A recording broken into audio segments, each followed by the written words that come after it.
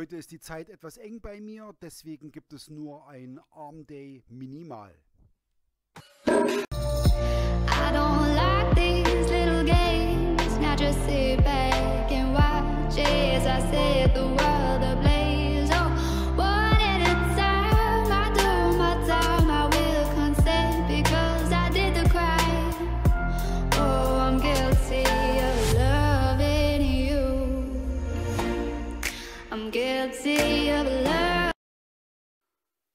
Ich verwende heute die Bowflex mit 16 Kilo für die Hammerboards.